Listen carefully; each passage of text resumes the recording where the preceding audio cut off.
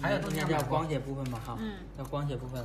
然后这里有锁了个安全绳，然后安全绳是连接是这个部位，嗯，这个是这一端。然后我我们在安装的时候是先把这个安全绳先呃缠一下，这样子的话就不会有那个，但是安全绳就不要碰到这几个部位，这是安装部位哈，这样子，然后居中对准，然后保持平整，然后接着按下去，OK，好，看一下底部，然后接着后端，嗯，这个是后盖，是磁铁的，打开。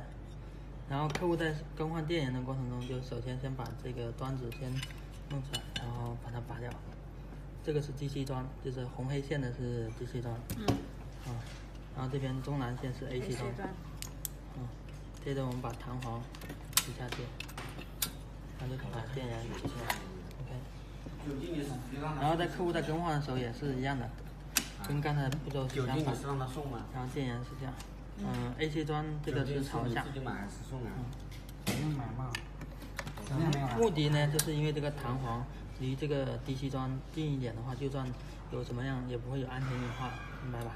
就是如果这个失效的情况下，还接着把它固定，然后接着 AC，它插上去，DC 插上去，然后接着这个多余的线的话，我们就这样子嘛，就是保持不要超过这个磁铁这个平面。